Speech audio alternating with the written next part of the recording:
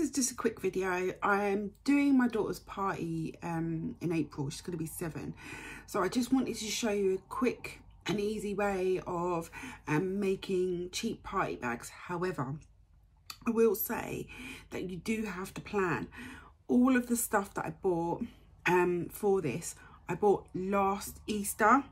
So I waited until the day after Easter, went in the shops and then got all the markdowns and then you get things for uh, cheap. So it does um take some you know forward thinking.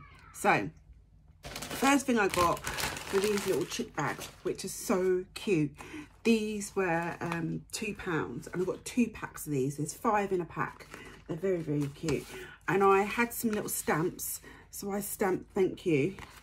Um they're quite small inside but they're going to do the job. Um let me these over here.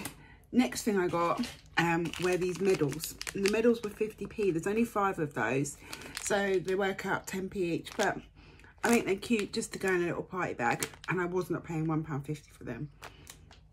Uh, uh the next thing i got um was the two packs of these egg and spoon uh, packs if you can see these.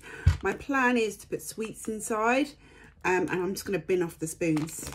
So, and then um, the party hats were um, 50p, which is a bargain. Got 10, so that was really very lucky. I might personalise them. I'll see how I feel.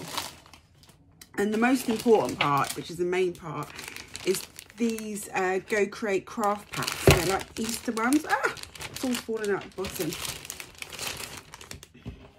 uh, the Go Create uh, party party packs. As you can see, there are like pom-poms, uh, stickers, pipe cleaners. So they will do nicely. What I will do later is a big bit of card you see.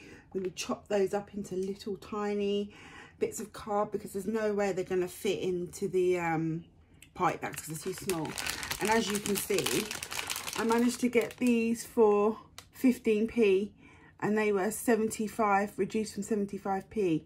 Um, so basically, if you add up the um, craft pack at 75p, the hats at 50p, uh, two bags, um, part, the actual chick party bags at £2, the medals at 50p a pack, and the eggs um, at 50p a pack and I've got two of those for a pound.